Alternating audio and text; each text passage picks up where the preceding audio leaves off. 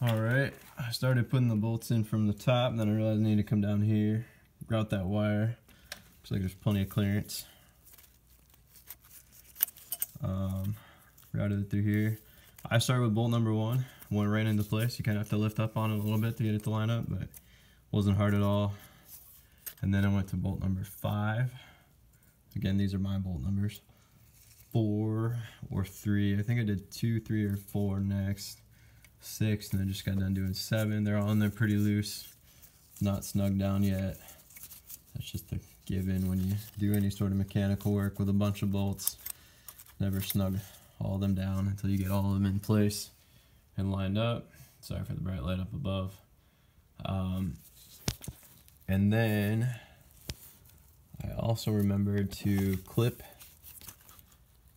this guy in place. And then I got these two to clip in. I'll wait until uh, I got these snugged up. And then uh, I'm gonna go do the top. Looks like four bolts are left. And then don't forget that important power bolt. And then there's a bracket bolt right next to it for number 10, number 11, 9, and then number 8.